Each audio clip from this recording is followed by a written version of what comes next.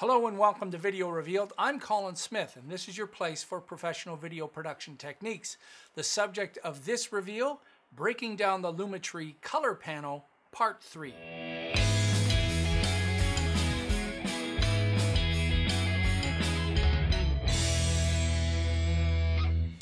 All right, as I said in part one and two, I'm taking each one of the components or, or the categories in Lumetri color panel and breaking them down. You would not necessarily have to work this way. I think it's just easier to understand. Okay, this particular one is curves, and there's two, two types of curves, the RGB curves and the hue saturation curve. This is similar to what's in a SpeedGrade with uh, some added uh, goodness inside. Let's go have a look.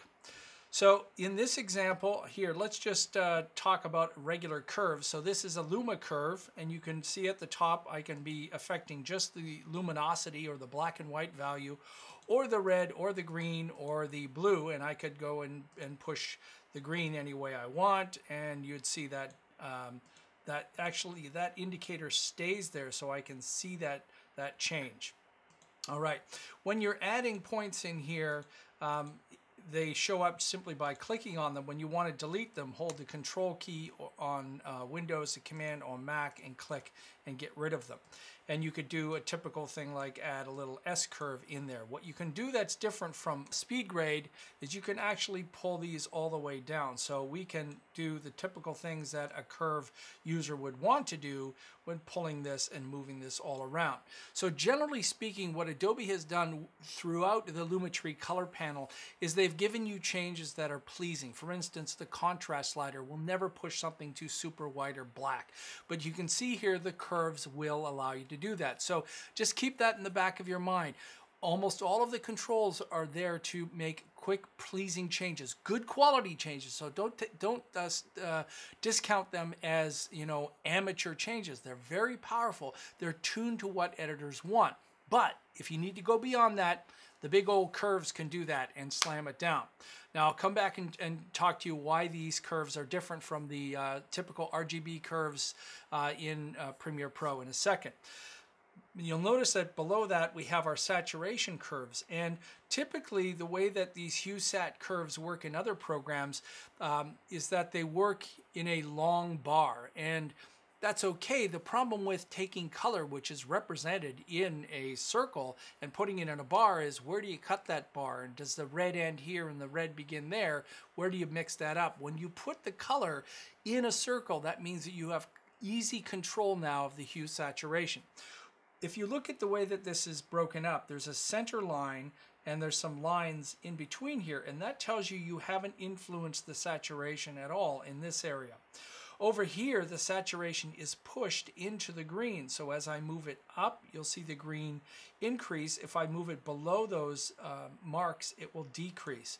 I've already allocated where the uh, dresses are, and you can see I can add or remove saturation to those dresses. All done without any secondaries at all. This is very important. Now, if you wanted to, to add more to this, I could push this up and then push this over, and you can see that I'm going to be influencing more of the magentas over there or more of the yellow inside. Okay, so that's pretty cool. But have a look at this example here where we've got the girl walking her dog. If I turn off my edit, you can see she's actually wearing a purple shirt and the dog is less saturated.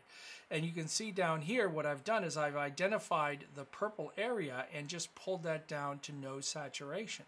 So there's the hue sat curves working like a champion. And the same here with the dog. I've pushed the dog and you can see there's a bit of that in the trees in the background too. And if I really needed to, I could uh, draw a mask over the dog and just be adding that saturation to the dog. All right, now uh, over here with our building, if we wanted to add more punch to the sky, we can use the HueSat curves for that. So you can see down here it's wispy and there I'm pumping that up. So if I hit before and after, that's before, that's after. So really useful there. Uh, I also want to point out down at the bottom, so if I don't have any of these, so again, I'm holding down the control key or command key and clicking, I can help identify the primary. So there is the blues right there, and I can pull that up. And back over in here, again, instead of using a secondary, I'm pushing the skin tone either more or less saturated. But back up here in the RGB curves, I want to show you something that is really powerful. And to do that, I'm going to uh, take this particular clip, which is being affected with my RGB curves, um, the effect itself. So I've, I've added RGB curves to this clip and the Lumetri color panel uh, curves to this one. So here's what I'm going to do. I'm going to go over to my source and I'm actually looking at the same timeline in both uh, in, in the source window and here I am over in the uh, program window and I want you to look at something really quite remarkable here. I'm going to bring over my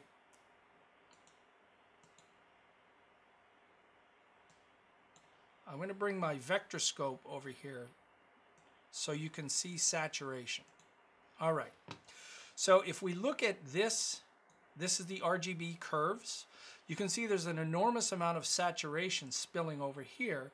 In this example, using the uh, Lumetri RGB curves, you can see there's less saturation. You can see over here, more saturation, less saturation, and I've essentially mimicked the same curve move in here to really take this down, really crush the blacks.